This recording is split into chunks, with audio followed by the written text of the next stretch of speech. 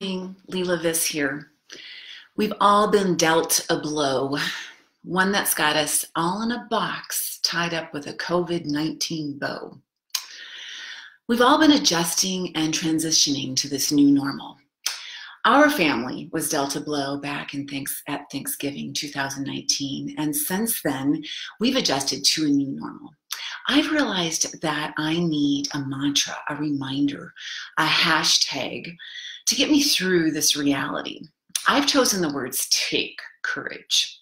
So, as we move forward and teach in this new boxed in reality sponsored by coronavirus, I propose that we take up a new mantra as well. And I've got three reinvent with restrictions, learn within limitations, and bloom with boundaries.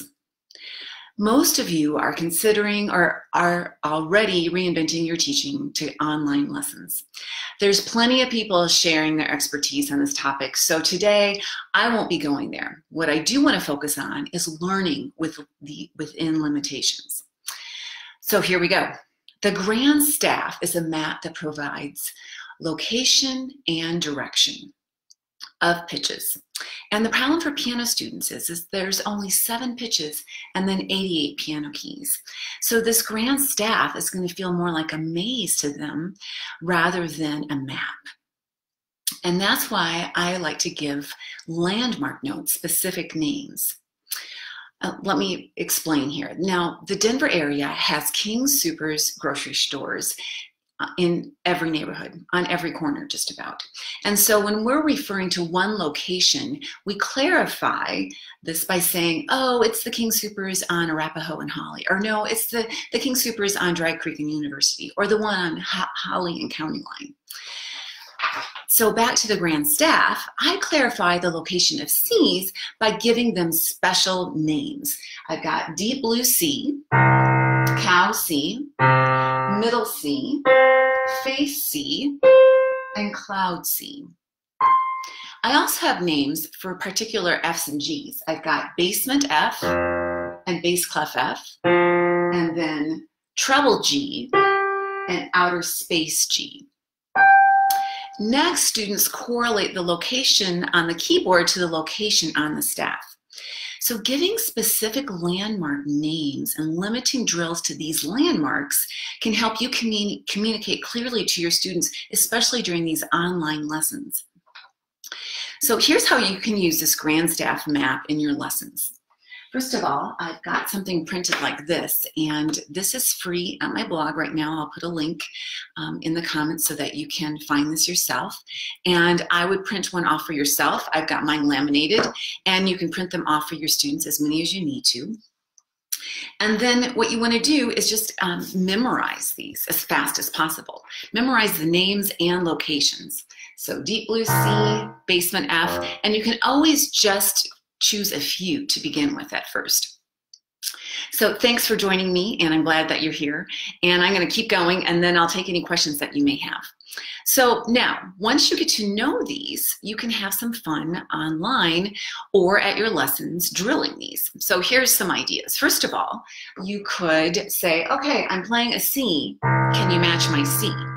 And if they happen to have a little friend at home, or if you want to give them a little eraser, you could always say, okay, place the cow on the correct C. Can you match my C? And hopefully they would find the correct C eventually. They might have to poke around a little bit, but using their ears, oh, that is deep blue C. And if they're not sure, then they could figure out, oh yes, that's that's the C way down here, way below the middle C. So that's one way to drill this information with them. And then another way is to um, switch it and let them drill you. So they play a C or an F, and you have to figure out which one that they've played. And of course, you can guess incorrectly at first so that you can test their ears and make sure that their ears are get, starting to hear and match pitch. Uh, so here's another way. You could hold up a flashcard and say, okay, here's a G. Can you find that G on the piano? And hopefully they would find outer space G. Now, here's what's interesting too is I will say, yes, that is outer space G. And how did you know it was outer space G? I want to hear their logic behind their answers. And hopefully they would say something like, well, I know it can't be treble G because that's really close to middle C. And this one is higher up and away, further away from middle C. So letting them express the logic and the reasoning behind it, then you know they're starting to understand this map. So uh, here's another way. Um, if they're playing a piece I'll often say to my students, oh, that one starts on an F. Can you tell me what F that is? And um, then they will have to figure it out again and, and associate their map to that piece. And that even though I'm giving them the answer, I'm saying it's an F, I'm not telling them which F. And that's helping them, again, understand the relationship of this to this, which really, in all honesty, should be more like this, right? Because this is a horizontal zone and this is vertical. So that, that's what makes this so hard for them to understand. And now one other thing that I like to do is, um, let's see, hold up a flashcard that is not part of um, one of their landmarks, something like this, and then have them uh, name the landmark that is closest to that. And hopefully they would say cow C, and then how far is that from cow C? Oh, that's one step down, and that's a B. So again, relating everything to those landmarks. And then one other thing that's kind of fun to do is um, I've got these Hal Leonard flashcards. They're just plain staff. And remember, you can use both sides and you can use them as a dry erase board as well. So I've made this one and I would show this to them it's probably more my advanced students or you know ones that are getting fairly familiar with the grand staff and say is this one of your landmarks now, some may say, oh, yes, that is. And they say, nope, it's not. And then I would want them to figure out why it's not. Now, this looks like deep blue C. It's not deep blue C. Why is it not deep blue C? Oh, because it's actually treble clef, and that's an A right below middle C. Because that's, again, testing their knowledge of this map. And you know that a lot of people can struggle with location, direction, maybe mixing up this, the clefs. There's a lot of things that can be confusing about that. So these are all different ways that you can test um, their knowledge of this map. Now, to reinforce this um, idea, I use a lot of apps in my teaching, and I usually have an off bench time with my students. Now, if I go online permanently for a while with my students, this off bench portion of the lesson has to be reinvented. And I'm thinking through that right now, and stay tuned, I'll be talking more about that. But I, one of the things that you can do if you have these apps on your iPad, you can always just flash them right on the screen. You don't have to do anything fancy like that. But um, one of the apps that I really like because it really reinforces those landmarks is an app called Note Quest. And what I like about this one is there's different levels, but one of the levels is a landmark and then an interval um, from that landmark. And that's really when reading takes off. Reading is not about pitch recognition. Reading is about seeing the relationship between pitches. So I'm not just suggesting that we just focus just on pitch recognition, but we have to get to know this grand staff first before we can really start figuring our way around it. So uh, the other apps that I really like uh, for note recognition. Flash Note Derby is my all-time favorite because I can isolate it down to at least two pitches. But I know a lot of a lot of people are fans of Note Rush as well. So any of those apps could work uh, during a lesson, but also you could encourage parents to purchase those apps if they're um, interested in doing so, or at least when everybody's back on the bench, back with you, and you have an off bench time, you can use those apps to reinforce a lot of this grand staff reading. Now, one of the other things that I've been doing with my students, um, and that's included with this package that I'm giving this along to, I'm also getting just a plain one that you could always write on if you'd um, like to do that. I also kind of have these crazy looking illustrations. I don't know how helpful those are, but it kind of gives you know, some information on why I chose the names that I did. Um, middle C's in the middle. Okay, I gotta go backwards. And pretty soon I'll just have them recognize that, oh yeah, the spaces do spell that name, face. I'm not into mnemonics. I, I promise I'm not doing that, but that's why I always call this one face C.